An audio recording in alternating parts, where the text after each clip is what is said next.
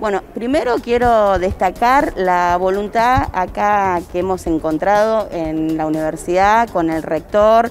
además con las autoridades del gobierno, el gobernador, la ministra de Seguridad, Justicia y Derechos Humanos, el secretario de Derechos Humanos. No es un dato menor. Si no existiera esta voluntad, esta vocación de poder trabajar juntos de manera articulada en un proyecto de extensión eh, que se ha presentado en esta universidad, esta hermosa universidad además,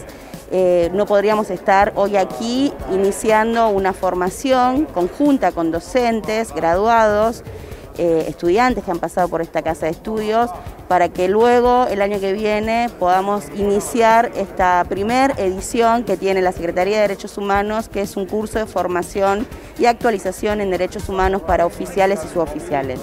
Así que de todo esto que decía, que es una eh, una, reunión de voluntades que hemos encontrado aquí en La Rioja y que es la primera que estamos haciendo desde la Secretaría de Derechos Humanos de, la Nación y que pronto esperamos que, que, podamos avanzar con otras provincias, es lo que nos ha permitido estar hoy aquí reunidos. Para nosotros es importante acompañar esta política pública de formación a las instituciones de seguridad pública desde la Secretaría de Derechos Humanos de la Nación que como universidad formemos parte de esta formación de los formadores, formar a aquellas personas, docentes, docentes, estudiantes y graduados que van a llevar adelante este proceso de formación, digamos, en estas instituciones, habla de una mirada nueva institucional, de recuperación de las instituciones de seguridad ciudadana y seguridad pública, pensando en las nuevas realidades eh, que requiere el ciudadano, sentir una institución más próxima, una institución muy cercana a la vida eh, democrática de nuestros vecinos y vecinas.